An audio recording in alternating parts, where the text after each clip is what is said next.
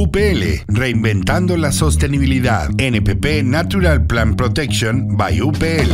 Décimo Simposium de Manejo de Berries UPL, Zamora, Michoacán. Para dar la bienvenida nos acompañó el ingeniero Héctor Rubio, director comercial de UPL, quien nos presentó el crecimiento de UPL con el paso del tiempo y sus principales ofertas de valor, siempre buscando ser cada día más sostenibles.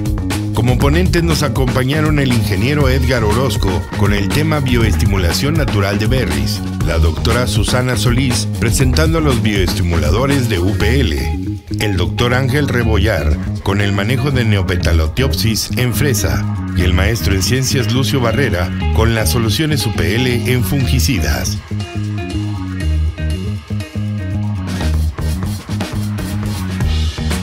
UPL, reinventando la sostenibilidad.